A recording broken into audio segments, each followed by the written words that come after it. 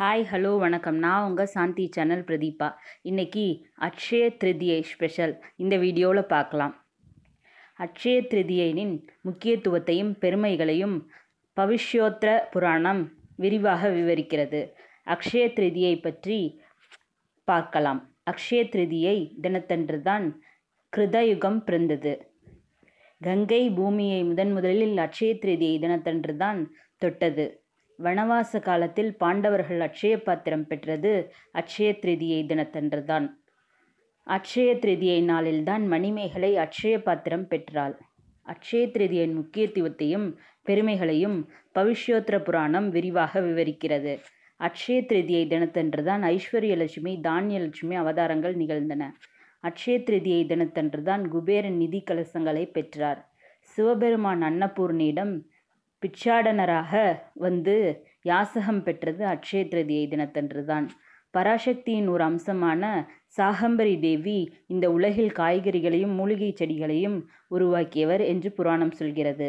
அக்ஷய திருதியை தினத்தன்று தான் அவர் காய்கறி மூலிகைகளை உருவாக்கினார்.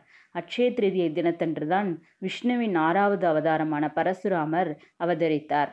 ரோஹிணி நட்சத்திர நாளில் வரும் அட்சய திருதியை மிக மிக சிறப்பு வாய்ந்ததாகும். அட்சய திருதியை நாளில்தான் விநாயகருக்கு மகாபாரதத்தை வியாசர் போதித்தார். வட மாநிலங்களில் அட்சய திருதியை தினத்தன்று திருமணம் நடத்துவதை புனிதமாக கருதுகிறார்கள். ஹரியானா பஞ்சாபில் அதிகம் உள்ள ஜாட் இனத்தவர்கள் அட்சய திருதியை தினத்தன்று மறக்காமல் மண்வெட்டி எடுத்துக்கொண்டு வயலுக்கு செல்வார்கள். ஜெயின் இனத்தவர்களும் அட்சய திருதியை புனித நாளாகும். வட இந்தியர்கள் நீண்ட தூர புனித பயணங்களை அட்சய திருதியை நாளில்தான் தொடங்குவார்கள். ஒரிசாவில் வீடு கட்ட கிணறு தோண்ட சிறப் சிறந்த நாளாக அட்சய திருதியை தினம் கருதப்படுகிறது. பீகார் உத்தரப்பிரதேசம் நெல் விதைப்பை அட்சய திருதியை தினத்தன்று தொடங்குவார்கள். அட்சய திருதியை நன்னாளில்தான் உணவு கடவுளான அன்னபூர்ணி அவதரித்தாள். அட்சய திருதியை என்று தங்கம் வாங்க இயலாதவர்கள் உப்பு வாங்கினால் கூட போதும். தங்கம் வாங்குவதற்குரிய பலன்கள் கிடைக்கும். அட்சய திருதியை தினத்தன்று தான் பிரம்மா உலகை படைத்தார் என்று புராணம் சொல்கின்றன. அட்சய திருதியை நாளில்தான் மதுரை மீனாட்சி சுந்தரேஸ்வரர் மடந்தார் என்று புராணங்கள் சொல்கின்றன. அமாவாசைக்கு மூன்றாவது நாள் அட்சய திருதியை. மூன்று எண்ணுக்கு அதிபதி குரு. இந்த குரு உலோகத்தில் தங்கத்தை பிரதிபலிக்கிறார். எனவே குருவுக்கு பொன்னன் என்ற பெயர் உண்டு. இதனால்தான் அக்ஷய திருதியை நாளில் பொன் வாங்குவது சிறப்பு பெறுகிறது. ஒரு தடவை சாபம் பெற்றதால் சந்திரன் தேய்ந்து தேய்ந்து அமாவாசையாகிவிட்டார். மனம் திருந்திய சந்திரன் அட்சய திருதியை தினத்தன்று அக்ஷய வரம் பெற்றார். மீண்டும் அட்சய தினத்தில் இருந்து வளரத் தொடங்கினார்.